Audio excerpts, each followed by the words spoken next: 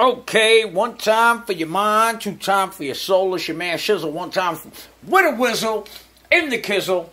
And tonight I got some Philly cheesesteak.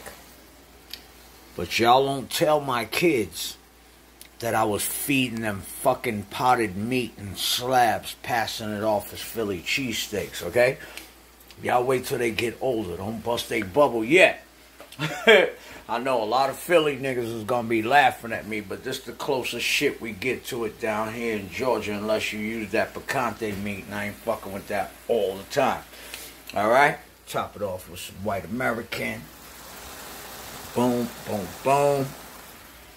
But I'm saying though, I, I cook a lot.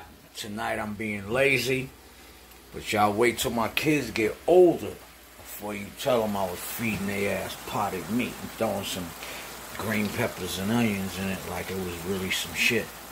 Alright?